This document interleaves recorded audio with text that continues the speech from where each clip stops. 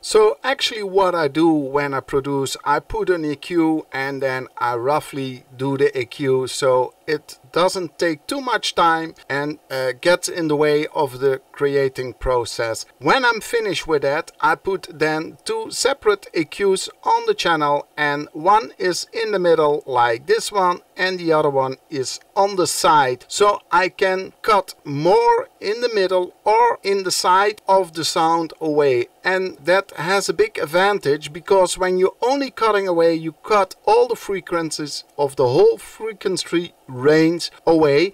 And when you do it like this you can go more in detail because sometimes you want to have cut away more the sound in the middle than in the outside. And of course with basses and under the 100 hertz you want to have everything mono so your bass is tight and there is nothing happening on the sides